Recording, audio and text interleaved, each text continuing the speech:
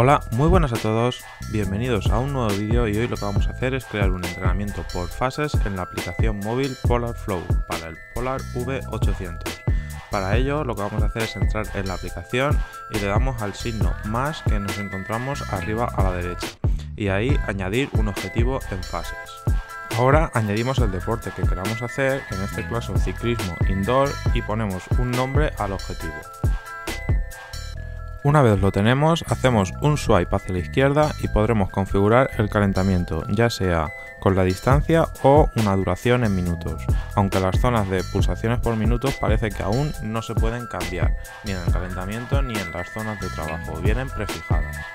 Ya hemos puesto 10 minutos de calentamiento y volvemos a hacer un swipe para pasar a configurar las fases de entrenamiento, el tiempo de trabajo y el tiempo de descanso.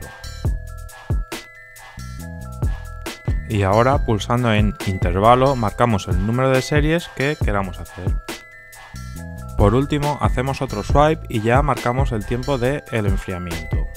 Una vez hecho le damos a crear objetivo y sincronizaremos con el Polar V800 con nuestra aplicación, como siempre pulsando el botón inferior izquierdo, para así ya poder ir a realizar nuestro entrenamiento y que el pulsómetro nos vaya siguiendo. Con esto acabamos el vídeo, espero que os haya gustado, un saludo y hasta el próximo vídeo.